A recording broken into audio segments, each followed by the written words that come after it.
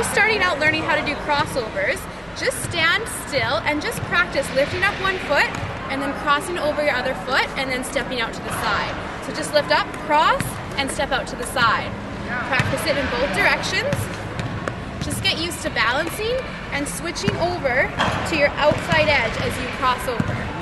And then once you're ready, you're gonna go over to a circle and try practicing your crossovers on the circle.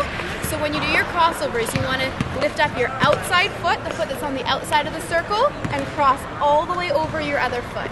So Nancy's gonna show you how it's done. Here we go.